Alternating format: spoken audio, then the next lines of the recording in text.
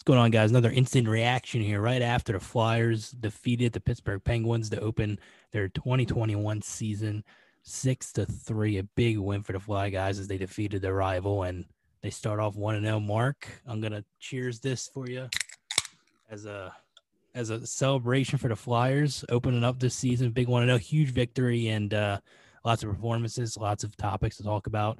Mark, how you doing? And what's your first reaction really to this big win by uh, the Philadelphia Flyers? Well, obviously, I'm doing great after that decisive win. It looked like, excuse me, looked like you know uh, throughout the game, like we were talking about before, um, and and as we were talking throughout the game, looks like Flyers were getting obviously ahead after that first goal, and then they were letting the Penguins back in. But you know, just the resilience and, and the focus of this team and the depth, um, honestly, is what I really think propelled them to this um, win. And and of course, it's not only the the win because we did expect this, um, obviously coming into the season. And in our previous episode, we discussed that this this Pittsburgh Penguins team is a little run down and getting a little on the older side, while while the Flyers are getting a lot younger. And we saw that. Um, you know, no, you don't have to look any further than Joel Farabee's second year in the league, and, and we'll dive into that a little more. Shout out to Conner for picking him as the breakout player of the year. Don't worry, I'll mention. I but, know, uh, man but yeah, he, I mean, just, you know, he looked great as a young player. Um, you know, you have guys building off from last year, like Hayes, great uh, rebound goal there, just stick down easy.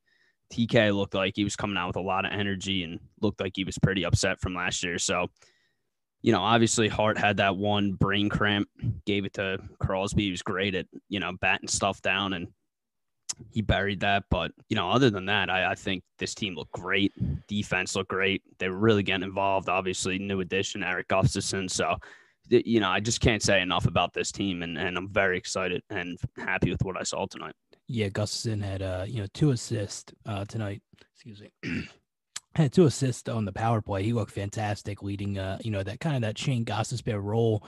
And we knew coming into the season, Erik Gustafsson was more of this offensive defenseman, and and uh, you know, we've had a lot of questions with Gostisbehere, and and he was put on the COVID nineteen protocol before the game, but Gustin came in and played really well. JVR got the first goal, Nolan Patrick his first goal in like over a year.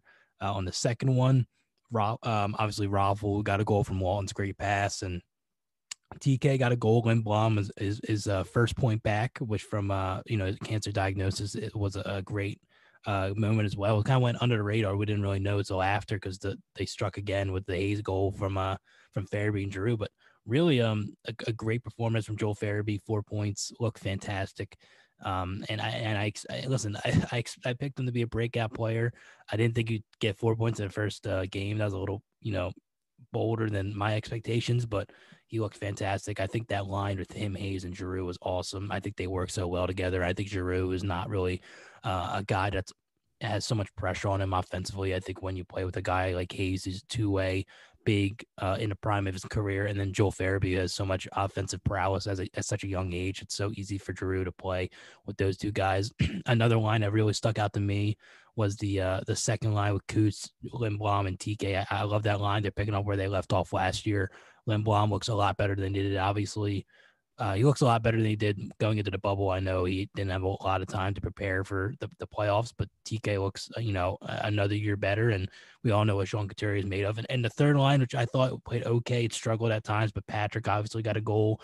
Uh, JVR got a goal. And then um, Voracek played a pretty solid game, but I like that line as well. And then the fourth line, too, with um, Laughton, uh, Aube-Kubel, and uh, Raffl, and they picked up a goal, and each of them got an assist. So, it was, it was a great performance all around, and offensively and defensively, it was pretty impressive too. I thought Provorov obviously played a great game, and and uh, Gustafsson, like I said earlier, had a great game as well. And and I think that we were talking a lot about, um, you know, the Laine rumors earlier in the year about adding an offensive player of his, you know, skill set would really put this team over the top. But when I look at this roster, I think that the offensively, you know, for the Flyers, they're pretty good going forward. I don't think they need anything right now.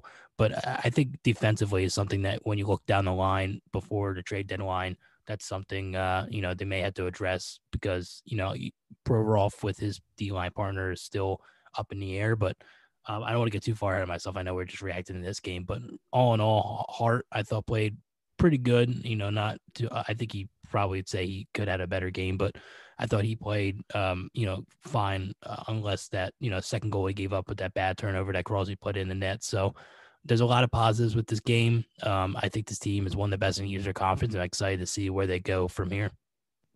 Yeah, and, and just to go over that stat line real quick, um, for both goaltenders were obviously Carter Hart and, and as I was discussing in the previous episode, I think the Flyers have the best goaltender in this division. Um, and even seeing tonight, I stand by that. And and I you know I think I'm even more positive in in that comment. Um, first goal, you know, it was just early, and, and I think it was just early season, just not you know just not there right away, and, and that's all right. Second goal, obviously, we went over bad play. Just you know, probably will never make that play again. Just go up the boards and.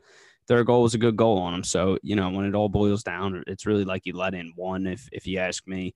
Um, and, and I think if the Flyers can get that type of goaltending moving forward, they're going to have nothing but success um, in this division. So Carter Hart, three goals against, 31 saves on 34 shots. First career win, uh, or I mean, first win in the season, excuse me. On the other end, this is, you know, again, to my point, this is where I think some of these teams are going to fall short. And, and Tristan Jarry coming into his first year is really being a solidified starter um, and, and being the number one guy for the Penguins. He uh, had six goals against, 19 saves, um, and obviously a loss. So, you know, it, it, just goes to show that if the Flyers can keep this offensive intensity up, and and I know Laine and and how you said would bolster this lineup, I think this lineup's perfect just the way it is, and I think the Flyers have a great mix of of depth guys, grinder guys, and skilled guys. If you you know, quite frankly, if if Farabee plays up to this level, you have Konecny. You have Coots, who's just an incredible two way forward. You have Pat, Patrick coming back into form, already has a goal and, and a goal in the inter squad game. So, I mean, this team looks great. Obviously, the biggest challenge is going to be playing these teams in their division multiple times as they have a back to back. They're going to go to Pittsburgh on Friday. Um, so you know this is this is where it's really going to tell if this team is for real, um, and if they can win this division, if they can win these back to back divisional games. Yeah, we're going to see a lot of these Penguins Flyers matchup, not only Friday as they play the second game of the year, but really just down the, in, during the season and, and later in, in the couple you know months of this season. It's going to be a lot of matchups between the Capitals and the Penguins and, and the Boston Bruins, and it's going to be exciting, but it's going to be a battle. And it was getting chippy. I know Pierre McGuire on the broadcast said it was getting chippy in the second period. And he said think he thinks it's going to carry over to Friday. So I'm sure the Penguins are happy about their performance tonight. So you have to expect them to um, be coming out fast in the first period on Friday, and uh, the Flyers got to be ready for it. But really, the, the, good thing about reacting to this game, there's not a lot of negatives that go over. Um, I thought that you know the Penguins, you know, they kept it close to the third period, but like you said earlier, they just they just ran out of juice, and the the depth of the Flyers uh, persevered, and and we saw that. I think there was like 12 forwards or 12 Flyers players with at least one point or something like that. I saw that stat on Twitter. So the the performance by them tonight was was awesome, and I'm excited to see where this team goes. So really before we uh you know we end this instant reaction um obviously we're going over i was watching a little bit of the Tampa lightning stanley cup uh the stanley cup ceremony as they were you know going to raise the banner i know right now the Canadiens they're playing the maple leafs as of right now the Canadiens are up 3-1 but um really the rest for tonight there's not a lot of uh there's gonna be no eastern division games until tomorrow. Obviously, the Bruins and Devils play, and then the Islanders and Rangers play. But um, where do you think they stand as of right now? The Flyers within that Eastern Division. Um, do you still hold true to your position that they're they're still up to the top next to Boston and teams like Washington, or do you think that you know after the poor performance tonight, do you think they surpasses them and that they're the clear number one favorite in that division? I don't want to jump the gun here and, and you know throw them in that clear number one spot because they are playing some very competitive teams. I mean, we haven't seen how the Rangers gel yet. I uh, got Panarin coming off a potential MVP season last year, and, and some pieces getting added around him, and, and some very good young ones, especially in uh, Alexis Lafreniere. You got Zibanejad. Uh, you got the Caps you got you got the Islanders who are going to be a heck of a team as they are every year. But you know, here's my number one thing. Obviously, the goaltending and it's going to be you know small sample size in one game. Um, but the goaltending needs to stay where it's at. Hart looked phenomenal. He looked like himself after that first and that you know that brain cramp in in the second um, with that goal. But he looked like himself. He played really well. And and when you can get production down the board um, from every guy on every line, you're going to be successful. So if the Flyers can keep doing that and, and it really shows no signs of stopping in this system AV has, I think they can be the number one. Um, I think that's how they're going to beat these more um, skilled teams as, as the Caps. You know, they have Ovechkin, they have Kuznetsov, they still have a, you know, Backstrom, Vrana. So I think if the Flyers can get production down the board and, and have good goaltending, I think there's no reason that they can't finish number one in this division. I agree. I don't want to put them obviously in that class yet. And the Penguins are a fringe, I think, playoff team. I still think they'll have a shot. They'll be right around that four or five area within this Eastern Division. But the teams you have to look out for, and which I'm interested to see where the Flyers match up against, is obviously Boston and uh, Washington. I think Boston's obviously, I think, clear, clearly better than. Well, we don't know yet because there's been no games played. But I'm expecting Boston to be better than Washington, and and Boston being the biggest threat within the division. But you know, there's still going to be a lot more games to be played. 64 more games for the Flyers to. uh to show off and hopefully um you know clinch a playoff berth and and make a run this uh, again in this postseason. So I, am really happy about the performance they showed tonight, and I think there's a lot of positives to be taken away from it. And really, it's exciting to see them uh, them finally back, and ex- and I'm excited to see them play Friday as well. It's it's gonna it's gonna be a, uh, a, a, a it's gonna be more of a a sprint more so than a marathon that we usually see with these hockey seasons. So I'm excited to see where they go from here. Yeah, and I was, you know, I was going to say to wrap up, we should probably pick, you know, one guy we were really impressed by, but yep. I think Joel Farabee ran away. I, I know you're going to say him, and I'm definitely going to say him. Four points again in, in the opening um, game, and you know, changing to number 86 from 49. That looks beautiful. Yeah, looks like a superstar, and and um, you know, hopefully he can keep it up. I think he definitely has.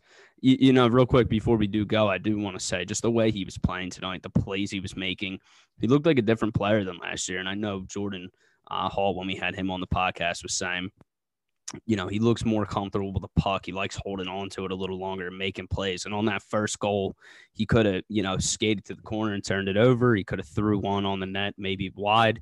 Instead, he turned back with it, threw it up the Guff, Gustafsson up the wall on his backhand and it led to a goal. So obviously he, he had that beautiful berry in the pocket of, of the net um, on Jarry. So, you know, real positive things from Farabee and, and, you know, this team looks incredible in game one. So, um, you know, yeah. great, great game. And I'm excited for Friday as well. Yeah. And I know, I agree. Farabee probably is the best player from this performance, but I'll go Nolan Patrick too. I thought he looked good, uh, even though he finished in minus two, but he did finish with a goal. And I thought he looked fast. I thought he looked like he was involved in a lot of plays, especially in, in the dirty areas. So I thought it was a good first performance for Nolan Patrick to get back after that, you know, season the migraine disorder. So, you know, there's a lot of positives. I thought that was a really key positive as well. And um, yeah, I, I like where all the lines stack. I like how this team's roster and I like where they are at. So that's gonna wrap it up for us for this instant reaction. Make sure you follow us on social media, Twitter and Instagram at Conner and Mark Show.